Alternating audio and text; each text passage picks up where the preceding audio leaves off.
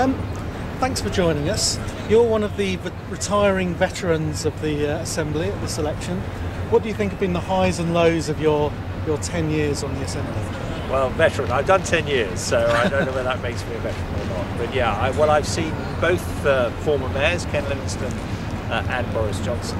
Uh, the highs, if we've been able to make a difference in some areas, make the case for more and better housing. I've done a lot of work on the environment and air quality, mm-hmm. uh, and things are starting to happen uh, on that. Uh, lows, well, there's just so much more that needs doing. Uh, during my time, uh, the number of people on, on housing waiting lists, for example, have gone up and up and up. Uh, so we've got something like 800,000 people on council registered housing waiting lists now. That's gone up, not down in my term. So mm-hmm. mm-hmm. some things to be proud of, some things a lot more work needs doing on. I was very interested at the final assembly meeting. There were some very glowing tributes to you uh, from the other parties, which I thought perhaps stood in contrast to perhaps some of the Yahoo politics I'd seen before in the assembly.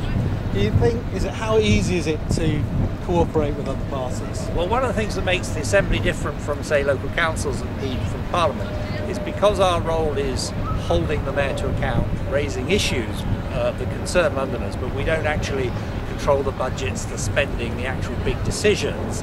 It's easier for us to work cross-party because when we speak as one on the assembly, we, we tend to get listened to by the media, by the mayor, never enough by the mayor, I might say, uh, mm-hmm. either of the two mayors that we've had. Uh, but so I think there's sort of inbuilt um, sort of imperative to work together so that we speak more strongly. Um, whether uh, people are always very nice when you announce you're retiring, so I didn't take that too seriously. But it was a nice, uh, it was a nice mm-hmm. exit. You were elected onto the GLC back in back in the I 80s. Was, yes. How does it?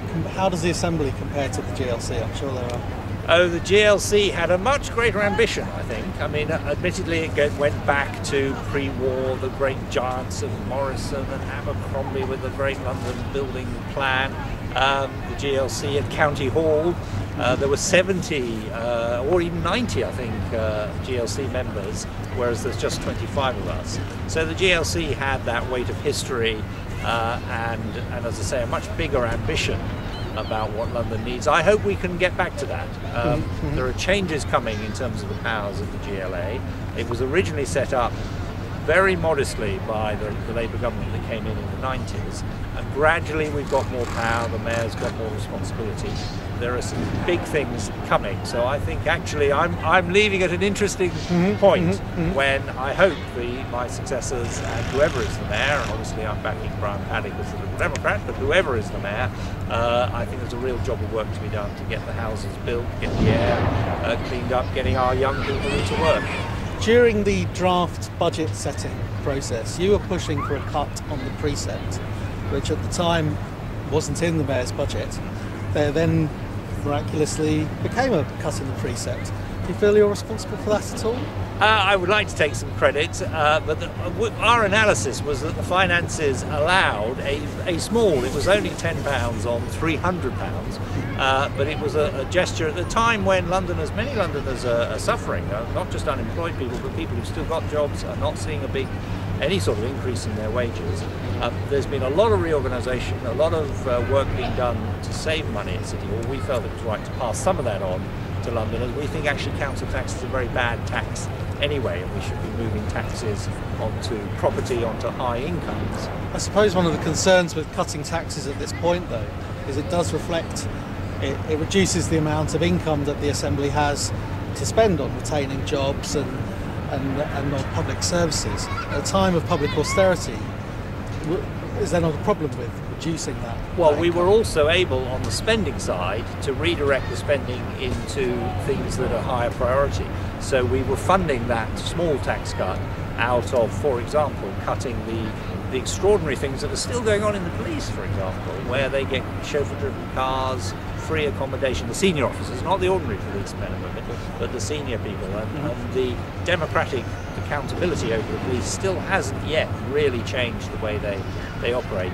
Uh, there's a lot of spending here at City Hall uh, on things like press and publicity, which we would uh, uh economise on. So we were trying to get that balance right. It's a, it's a fair question. Uh, we're not obviously as Lib Dems a, a, kind of tax cutting for the sake of it party. Mm-hmm. We are we do believe in taking the tax burden off poorest people and applying it at the upper end for people who, who can afford it.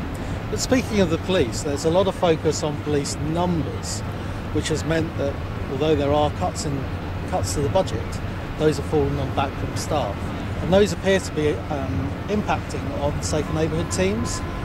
Um, is there is there a problem with focusing on uniforms rather than a, a, more rounded police service. I, again, I understand the point. Although there have been some cuts, the current mayor Boris Johnson is cutting the frontline policing by taking the sergeants out. So this is uniformed people. He is reducing the number of uniformed uh, officers uh, in the safer neighbourhoods teams. We think that's wrong. Actually, we think we should maintain the, the numbers uh, on the front line. Uh, economise, yes, in the back office, looking for kind of using technology and the efficiencies, and then really changing the way those uniformed uh, staff are deployed so that they're out on the streets at the time that Londoners say uh, they need them, whether it's coming home late at night on the tube or on a Saturday night in the high streets or Friday night. Um, so we think the safer neighbourhood policing uh, police teams really need to be much more accountable to people in their communities for the sort of policing they want. And it also means the police can get to know the communities better. And so some of the tensions that we've seen, which was part of what the riots were all about, uh, the police being out of touch, uh, that would be the way to, to counteract that. One of the other issues you've been pushing on is the Fire Brigade Museum. Yes. Um, why is this important uh, when there's so many other things going on? Well, because actually closing it. So the proposal from the Conservatives is to close the, the, the, the, museum, which is a very modest little affair, but there's some great things in there. The schools love it, the kids come. They not just learn about the history of London, they also learn about current fire safety. So it's a great little thing. Closing it wouldn't actually save any money. It's a classic example of Conservatives kind of knowing the, the price of everything but the value of nothing.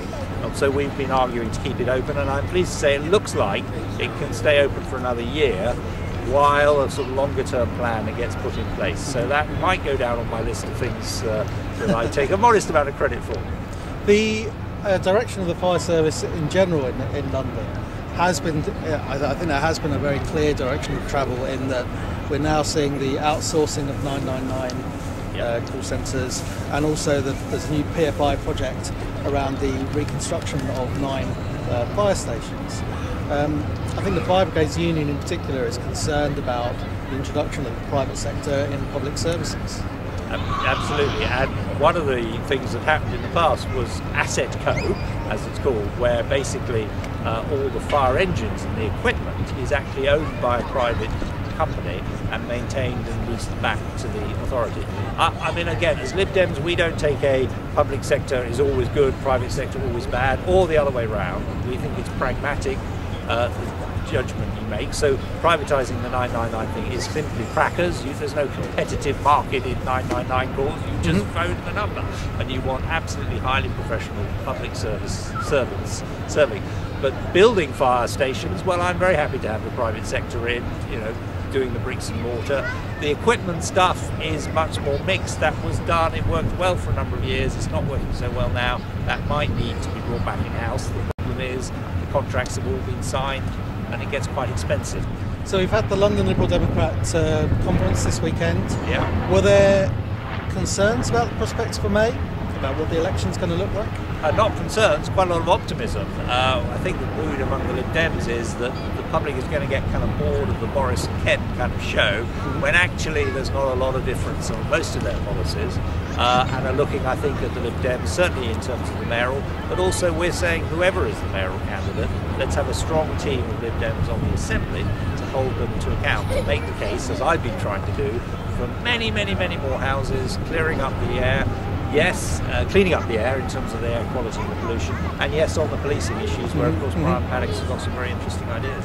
On the Assembly, the Liberal Democrats tend to block with the Labour and Green groups, um, and obviously nationally, uh, you're in coalition with the Conservatives. Is there a, a, difference between the London Liberal Democrats and the National Party? Uh, not between the National Party. Um, uh, obviously, uh, nationally, the MPs are in coalition uh, with the Conservatives. That was in the national interest to try and deal with the financial crisis. Um, uh, it will come as no surprise to anybody that there are tensions in that mm-hmm. process. Mm-hmm. Obviously, locally, we are an entirely independent party. We work to put our ideas forward. And you're right, when there's a Conservative mayor, there's a bit of a tendency for the non Conservative parties to kind of work together. Um, when there was a Labour mayor, actually it worked the other way. Um, and um, uh, we were happy to work with, uh, with whoever was holding the then Ken Livingstone mayor to mm-hmm. account. So it, it isn't, I wouldn't read any great ideological things into it. What we try and do is push forward on the things we care about. So my final question is: You have been on the Assembly for ten years, and this is um, the end of that time for you. What's next for you? Uh, well, uh, a little bit of time off. Um, I'm not promising to spend more time with my family, which is the, the normal politician's answer. I am promising to give them slightly higher priority. Uh, so uh, we'll, we'll, be able to take a holiday uh, when they when they stop school, rather than waiting till all our official meetings are over. So I shall carry on being active in politics, but just not quite uh, from the great platform of City Hall. That's great. Thank you very much.